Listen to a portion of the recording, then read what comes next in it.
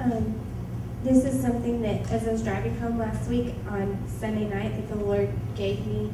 Um, I was tired and exhausted, and it just kind of came. So I really wanted to share it with you guys.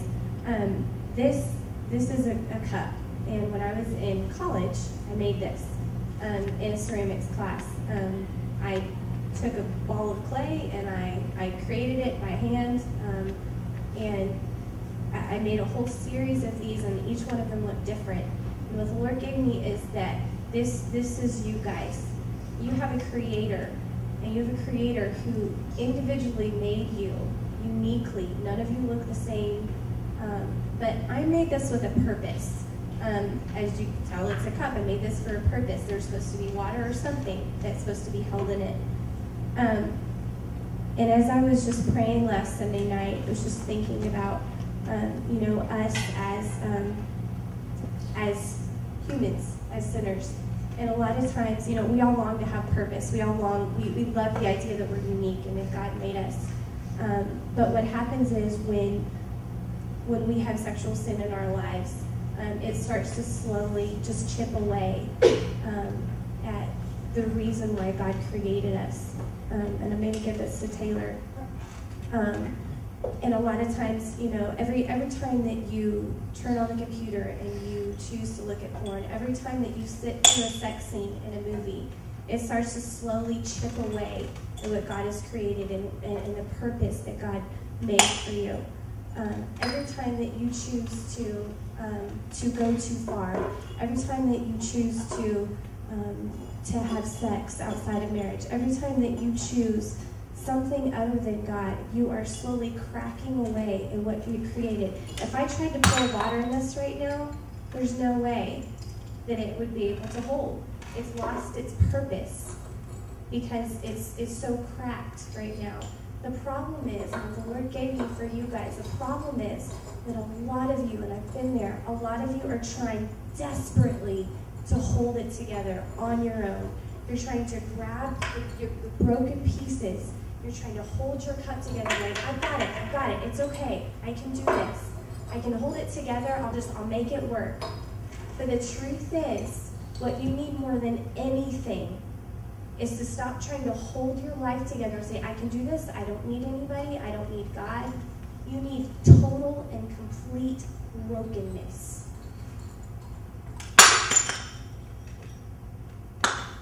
When um, broke this. Um, this is kind of a random thing, but last week, this is a, a Scentsy candle.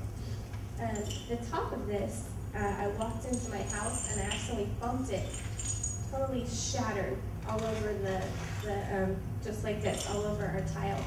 And I was really frustrated. Um, and I mean, it was in a lot of pieces, and I don't know if you guys, I'll show you in a second, but it was in a whole lot of pieces. Um, and Taylor came along, and it, it looked like, because the, I don't know if you can see, but the wax inside of it was holding it together. And so it looked like it was totally fine.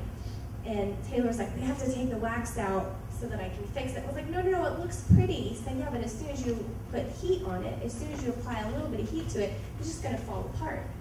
And I was like, no, let's just let's just leave it for a little bit longer because it doesn't look broken.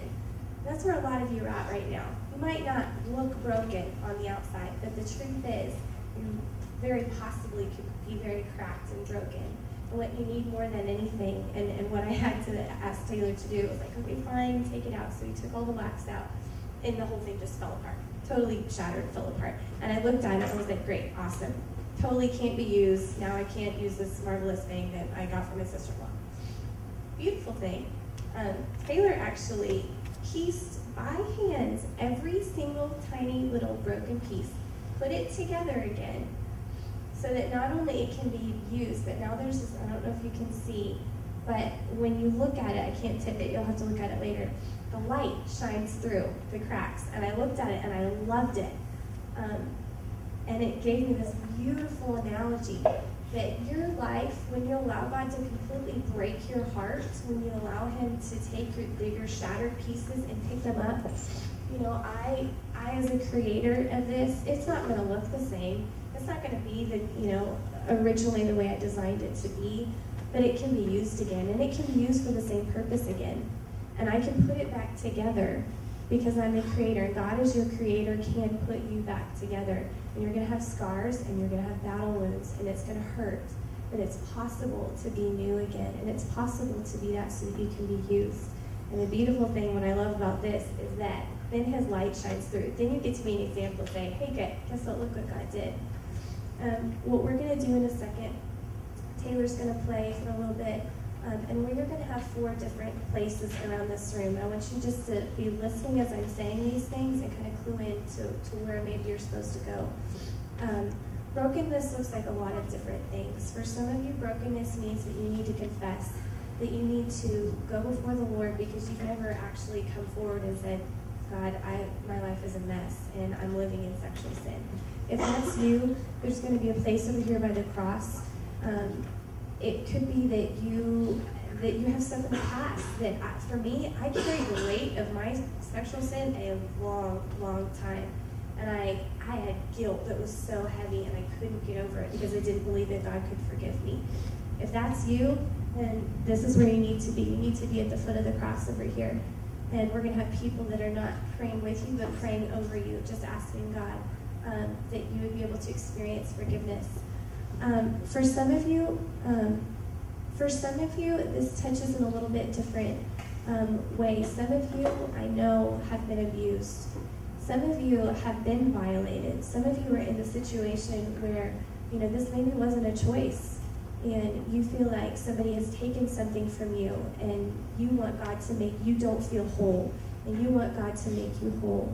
Um, in the prayer room, and this is going to be only only for for this specifically in the prayer room back here. If you just want to talk to somebody, um, and and I know how hard that is, um, but not to confess, but to to be vulnerable and say this is this is what happened, and I need somebody to come alongside me.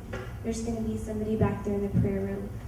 Um, if you are, um, if you feel like, you know, you've already confessed before the Lord, maybe you've confessed to somebody else, but you're like, I just, I don't know where to go from here. There's going to be people standing in the back of the, room, actually back behind the, um, there's tables back there behind that part of the coffee house you can sit with and that are going to pray and, and walk through what it looks like to live in purity. And then finally, I pray, I, I have to believe, I pray that some of you, this makes you want to fight for purity and fight. If you have never, if you've never done anything, if you've never looked at anything, um, then I want you to, you know, you can stand here and um, and worship, and we're going to just pray over you that you would be able to stay strong because it's hard. So um, Taylor's going to pray for a minute, or he's going to play for a few minutes. Um, if you like sitting, or if there's one of those places that you'd rather go, then um, then you can get up, you can stand up right now, and then we're going to close it up in a little while. So um, let me just pray for you guys, and as soon as I'm done praying, then you can scatter.